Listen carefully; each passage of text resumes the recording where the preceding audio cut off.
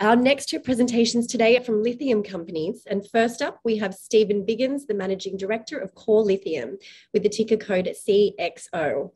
I will now hand you over to Stephen to tell us more about the company's flagship lithium project in the Northern Territory. Thank you, and I appreciate the opportunity to speak today. Let me bring up your presentation for you. Great. Terrific, thank you. Um, with uh, recent uh, $140 million financing deal, uh, signing offtake, binding offtake with, uh, with one of the world's largest lithium producers, and completion of our definitive feasibility study. Uh, Core is construction ready uh, to start producing high quality lithium concentrates out of Northern Australia. Uh, we'll be looking to start construction of the project before the end of this year, which will put us right um, at the front of uh, new production, global new production of lithium as we look to, to start construction this year and start production from the project by the end of next year. So Core Lithium, our Finniss Lithium project um, is ready to build. We're construction ready, uh, it's fully funded. Uh, we have all government approvals we need to start construction of the project and it's a low risk project with excellent economics. So we are very well placed to become Australia's next lithium producer. Um, it's the most advanced new lithium mining project in Australia. Um, it's positioned only 88 kilometres by sealed road from Darwin Port and less than 45 minutes drive from the suburbs of Darwin and um, yeah, excellent infrastructure around the project, which is one of its key strengths. Um, the recent equity deal um, raised up to uh, $140 million which includes a significant investment from the world's largest lithium producer into the company. So it's a very you know, strong badge of quality for the project. And it's and importantly, it secures funding for us to start building the project. So, you know, we are construction ready. The project is fully funded. Uh, it's in a low risk tier one jurisdiction in Northern Australia, and we have all government approvals in place. So it's ready to build, and we'll start construction of the project before the end of this year and be producing high quality lithium concentrates uh, by the end of next year. Uh, and importantly, that's in the context of you know, recent lithium prices heading over $1,000 a tonne. So our timing is absolutely perfect. Um, the, the, the, economics of the project are excellent, um, low capital intensity, so only $89 million startup capex to enable us to produce up to uh, close to 200,000 tonnes per annum.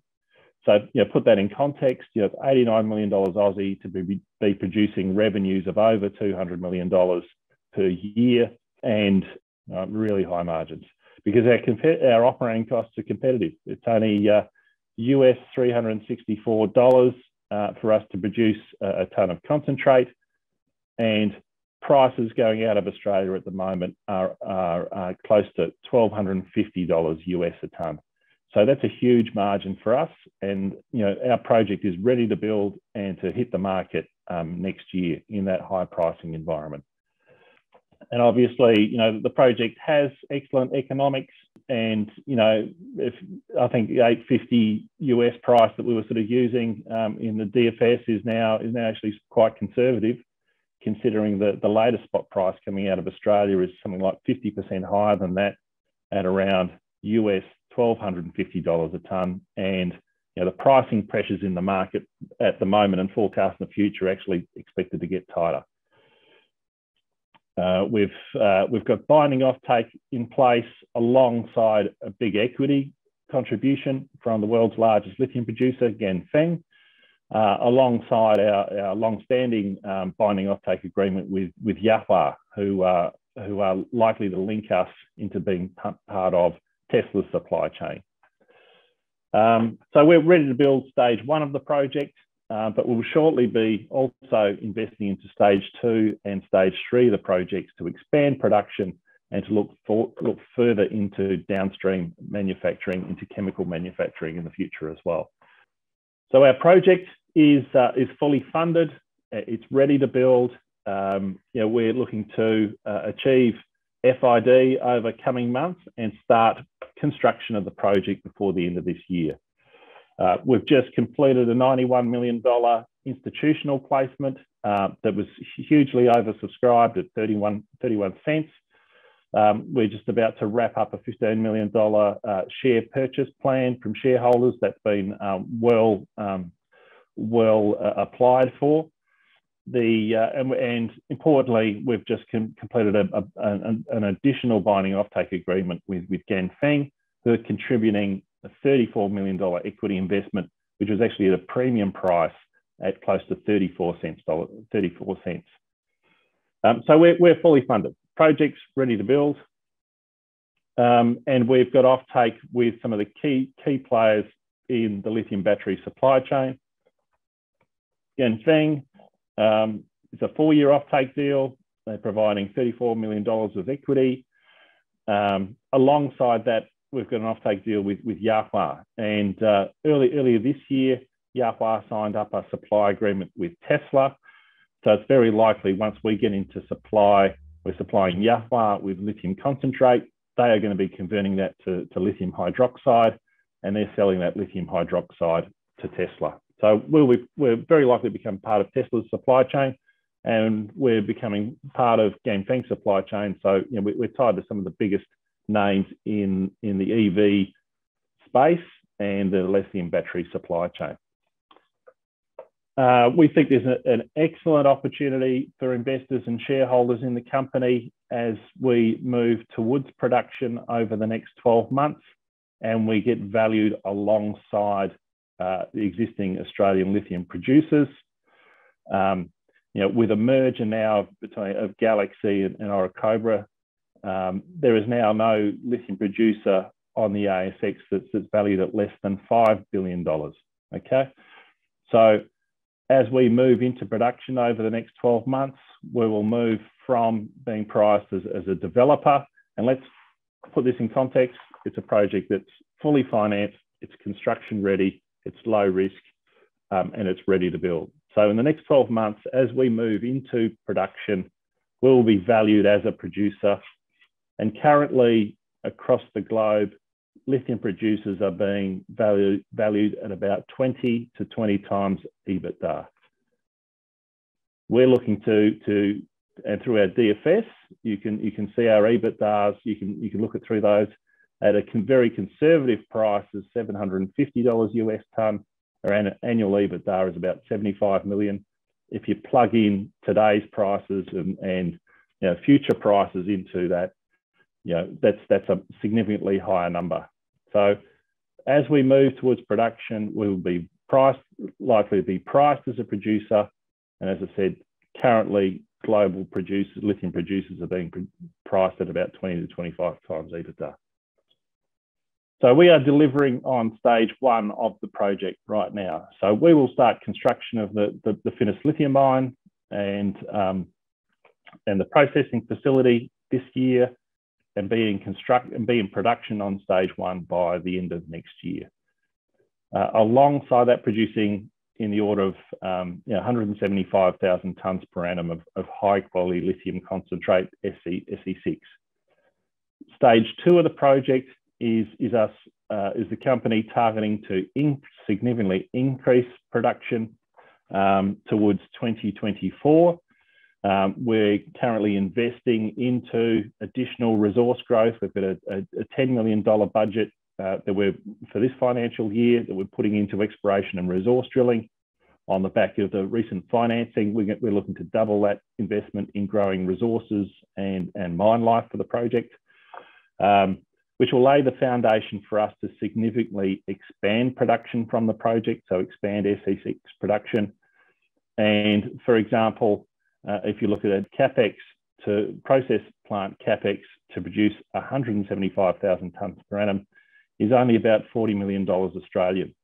So if we replicate that again for stage two, for an additional $40 million um, capex, which would likely come out of cash flows in 2024, we would then be looking at a, a, project that has the capacity to potentially produce 350,000 tonnes per annum of concentrate. So that's that's a real opportunity for us at stage two is to potentially in, substantially increase concentrate production. And that's not just uh, about leveraging the value of the, the that asset for, for, um, for the company and its shareholders, but in, in really it's a response to the, um, the demands and the expressions of interest that we've had from the lithium battery supply chain and from our customers and future customers that are saying, build more production, build more capacity. We want to take more product from you and we want to take it for longer. Um, and then stage three for the project is really about the, the company moving towards and potentially moving towards lithium hydroxide, so lithium chemical manufacturing from the Middle Arm industrial site uh, adjacent to, to the mine and to the, the, the city of Darwin, um, halfway between mine and port. Uh, we've got strong Northern Territory government support for, for that. Um, uh, and indeed, we've actually received $6 million of, federal Australian federal government support for us to undertake feasibility studies to bring forward that investment into stage three, into lithium chemical manufacturing. And we really think, um, you know, stage one of the project, um, which we're looking to start construction on in the next few months, is just the beginning. Um, we've we've uh, we put together an acquisition deal earlier this year. Uh, we've got three drill rigs on site right now, um, drilling exploration and resource expansion holes, with the aim uh, that we're looking to to more than double our life of mine and and double the resources of the project over the next 15 months. Um, we've got a level of confidence in in achieving that goal um, in that we've already defined an exploration target of between 10 and 16 million tonnes. Um, and we're now drilling that and undertaking additional exploration. So, you know, we think there's a strong pathway for us um, for, to continue to grow the resources and the life of mine of the project. Uh, key key uh, attribute of the project is its low capital intensity. It's a low risk project. It's one of the world's most capital efficient mining projects um, and you compared to, to those projects around the globe. And importantly, the project is close to Darwin Port and the capital city infrastructure. So there's a whole bunch of infrastructure we get to leverage, access to the port, plugging into grid power, our workforce based in the resident in the suburbs of Darwin, um, access to an international airport. So that's a whole bunch of capex that we don't need to spend um, that gives us access. So that's you know, one of the real key strengths of, of the project alongside you know, the excellent grade and, and resource quality.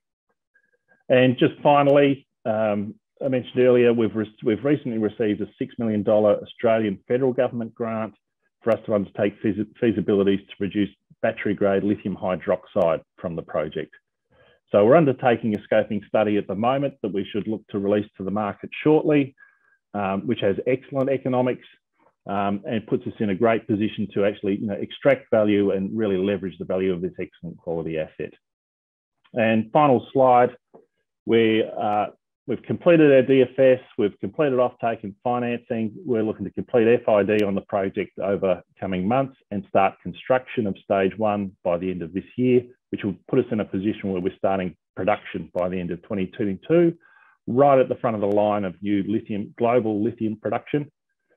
And then we're also investing in laying the platform and the foundation for stage two to expand concentrate production in the future and investing in the, the feasibility to produce lithium hydroxide, lithium chemical from the project through stage three from the project over time.